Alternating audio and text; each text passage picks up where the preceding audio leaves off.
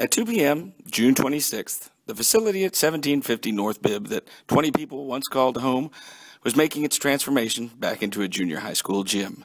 The young people from the Texas Conservation Corps who headed up this part of the effort were busy folding clothes and tables. Some headed for Austin, some even further, but they will all leave with a new appreciation for a part of Texas they hadn't seen before.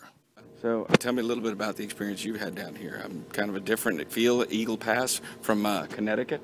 Yeah, well, it's really hot. no, I like it. Um, yeah, there's a really strong sense of community here too, as well. I've noticed it's a lot different from the Northeast. Um, yeah, it seemed like the community really came together and took care of a lot of things themselves before we even got here. And what lesson was the biggest lesson they'll take back home with them?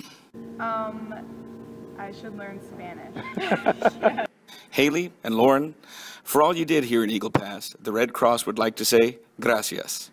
We couldn't have done this without you.